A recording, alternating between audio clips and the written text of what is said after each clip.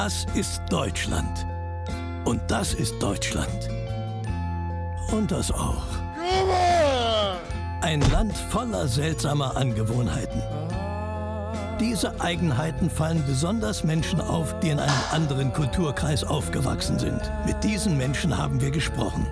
Aus ihren Erzählungen haben wir ein Drehbuch gemacht und deutsche Eigenheiten verfilmt. Ein Film, der helfen soll, uns besser zu verstehen. Ich heiße Cheryl Pearl Mapuya. Ich komme aus Zimbabwe. Ich bin der Niki und sie ist meine Frau. Ich bin Josh. Ich bin in New York aufgewachsen. Ich bin Ayman Hisnawi. Ich komme aus Syrien. Ich bin Ayham. Ich bin sein Bruder und ich bin Medizinstudent. Was würdet ihr denn sagen? Was sind die größten Unterschiede zu eurem Heimatland? Hier ist es alles organisiert. Man muss immer die Regeln folgen. Ich meine, das ist so ein Klischee, aber diese Straße überqueren, ne? wenn der Licht rot ist, darf man nicht überqueren. Für mich war es schon ein bisschen strange am Anfang.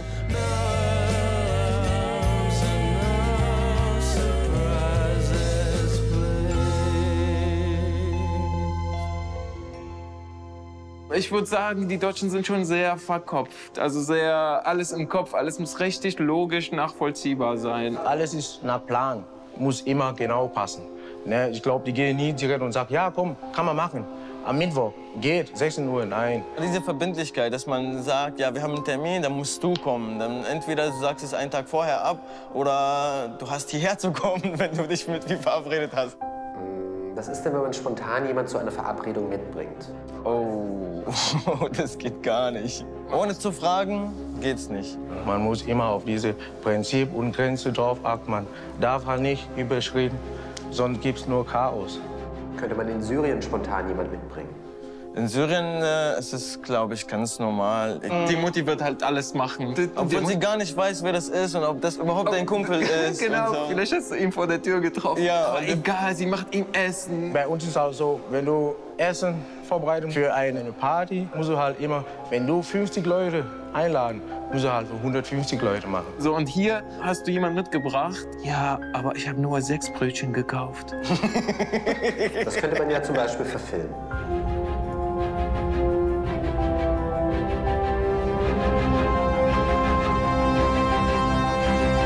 Also Deutsche finden es nicht gut, wenn man spontan jemanden mitbringt. Genau. Ist eine absolut No-Go. Eure Erfahrungen wollen wir ja verfilmen. Vielleicht könntet ihr dafür mal so einen Dialog nachstellen. Okay. Alles klar. Hi. Hi, Sharon. Alles gut? Ich habe einen Freund mitgebracht. Okay. Ähm, Hi. Hi, Cheryl. Alles gut? Ich habe einen Freund mitgebracht. Okay. ja. Hi. Ich bin Sascha, ähm, also Niki, Niki, Sascha. Hi, ich bin Niki. Äh, ja. Sascha? Also Niki, Niki, Sascha. Ja, okay, kommt rein. Ich komme gleich, okay? Wir sind gleich da. Cheryl, kommst du mal kurz? Ja. Ich komme gleich, okay? Ja, wir sind gleich da. Ähm, Cheryl, kommst du mal kurz? Ja. Wer ist denn der? Ähm, Wer ist denn das? Äh, das ist ein Kumpel von mir. Ich habe gedacht, ich bringe ihn mit, weil er gerade bei mir zu Hause war. Boah, aber weißt du, sowas geht gar nicht, ne? Wir sind in Deutschland, ne? ja, das, aber das ist nur eine Person. Ja, aber sowas geht gar nicht. Also wir sind nicht in Deutschland. Ja. Das, aber das ist nur eine Person. Ja, das ist ja vollkommen in Ordnung, aber ich finde es halt besser, wenn du voll Bescheid sagst. Weil wir sind hier 30 Leute. Und jetzt ist schon 31. Jetzt sind wir 31. Also wir kommen nicht klar. Es ist, also der Plan ist komplett anders. Ist, ist, ist leider so. Aber ist nicht schlimm. Ist nicht böse gemeint. Aber es geht nur um Prinzip. Alles gut.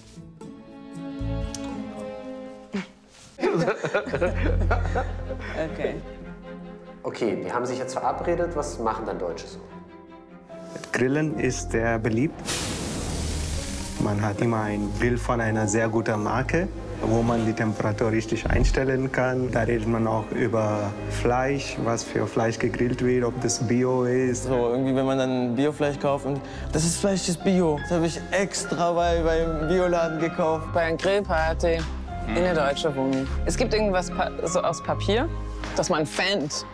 So ganz doll, ne? Und dann jemand steht da so, hey, na?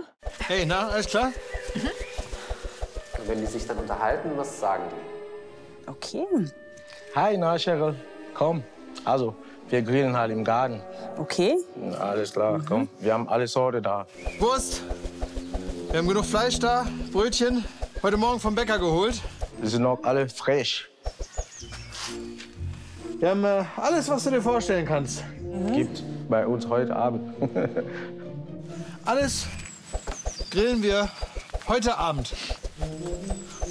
Schön. Über was reden Deutsche gern? Auch Autos sind heilig.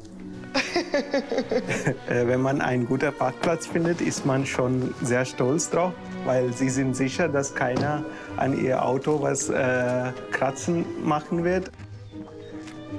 Und vielleicht, wenn man die Möglichkeit hat, äh, sieht man auch vom Fenster raus, ob alles gut ist, ob da jemand zu nah geparkt hat und so. Wie war dein Weg? Ja, es war gut. Ich bin sehr glücklich, weil ich den besten Parkplatz direkt vor deiner Wohnung gefunden habe. Guck mal, man kann doch von, von hier aus das sehen. Das ist nicht einfach. Guck mal, man kann das von hier aus sehen. Ach, das ist nicht einfach. Ja. Genau, dieser Parkplatz ist einfach mega, weil ich bin mir sicher, da gibt es keine Ausfahrt in der Nähe. Genau dieser Parkplatz ist einfach mega. Weil ich mir sicher bin, dass es da keine Ausfahrt in der Nähe gibt. Und ich bin mir sicher, dass da keiner was zerkratzen wird.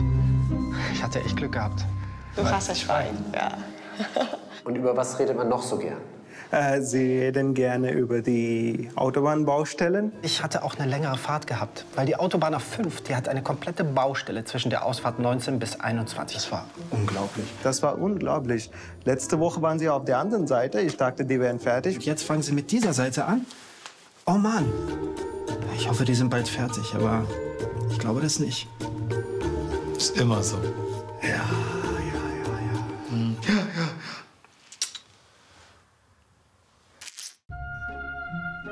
Trinken Deutsche gern? Sprudel. Es gibt, in, in Deutschland gibt es nur eine Wasser, ne? Immer mit Sprudelwasser. Wenn du keine Sprudelwasser möchtest, dann musst du extra sagen. So jemand aus Deutschland, der Sprudel richtig gut findet, was sagt er? Aha, okay. Ähm, Was trinkst du, Niki?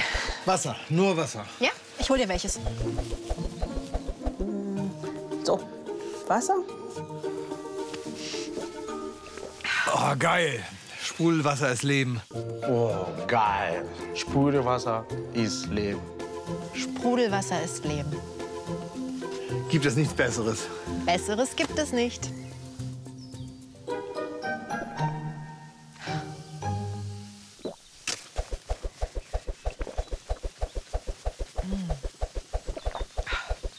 Was ist bei Deutschen noch so anders? Ähm, aufs Geld achten. Zum Beispiel, wenn man sich verabredet hat, dann wollen sie vollen Ernst so alles ausrechnen und dass jeder so auf den Cent genau bezahlt. Und ich denke mir, ja, mach doch alles geteilt durch sechs und dann fertig, jeder bezahlt. Und nein, du hast 50 Cent mehr bezahlt. Und ich denke mir, oh Gott, nein. Also es wird genau aufgeteilt, meine ich, äh, zwischen den Leuten, die da sind. Und auch die Rechnung kommt genau so 8,17 Euro für dich, 8,17 Euro für dich und so. Sorry, ähm, ich ähm, muss kurz etwas ablenken. Sarah, ähm, kann es sein, dass du vergessen hast, dass du mir noch etwas Geld schuldest? Schau mal.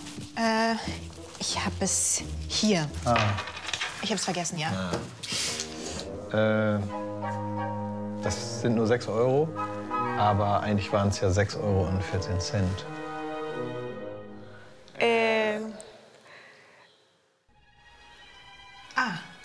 Äh, wir waren zu acht und Und ich habe es also auf uns acht gerechnet. Und dann Mhm. können wir es später machen? ja, ja, ja, äh, natürlich können wir das später machen. Also ich wollte das nur. Ich wollte es nur aufbringen, damit es dann hinterher keiner vergisst. Klar. Ja. Aber ähm, sag mal, wie ist es passiert, dass du es einfach so vergessen hast?